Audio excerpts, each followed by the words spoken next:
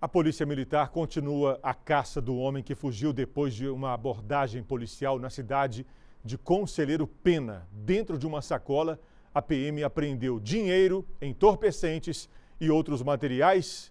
Eu converso ao vivo novamente com o repórter Miguel Braz.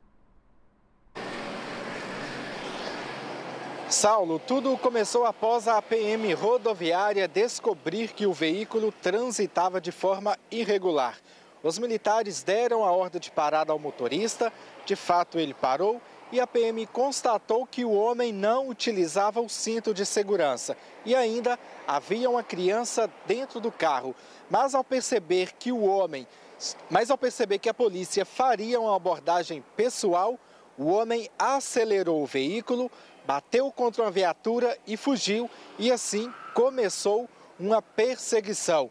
Outras equipes policiais foram acionadas para dar apoio a esta ocorrência. Durante a fuga, o motorista dispensou uma sacola, então a PM desconfiou, abriu essa sacola e encontrou pedras de crack, maconha, dinheiro e um aparelho celular.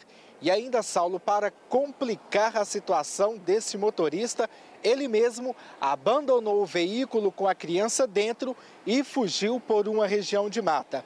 O homem já foi identificado, porém, até o início desta edição, ele não havia sido localizado. Saulo Bernardo.